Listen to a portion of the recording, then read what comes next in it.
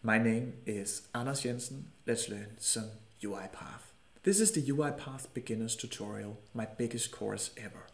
It will take you from a complete UiPath beginner, that is, we will start with setup and install UiPath and Orchestrator. Then we will cover the basics and moving on to more advanced topics such as screen and data scraping, email automation, browsers, selectors, and all in between. And don't be scared. I will make a lot of examples and no presentations as I'm a strong believer in we learn UiPath or all sorts of technical things best if we can try it ourselves. And by that, it's very important that you have your own UiPath instance open, of course, after we install it, and then you do all the robots with me. You can just pause the videos, they are designed for that.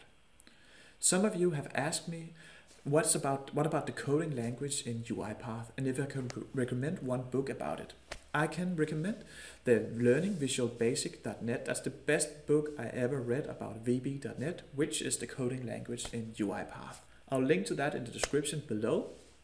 And I will strongly recommending you reading it if you want to learn more about the coding language. Even if you don't, don't be scared. We can do all things with just these videos.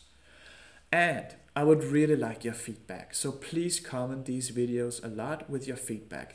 Even if you think they're bad, of course I always like good critique, but I also appreciate the ones that uh, are not satisfied with something. That could be the sound, the visual, the presentations, topics that we might miss, and I can add them on the way. So please give me all your feedback in these series.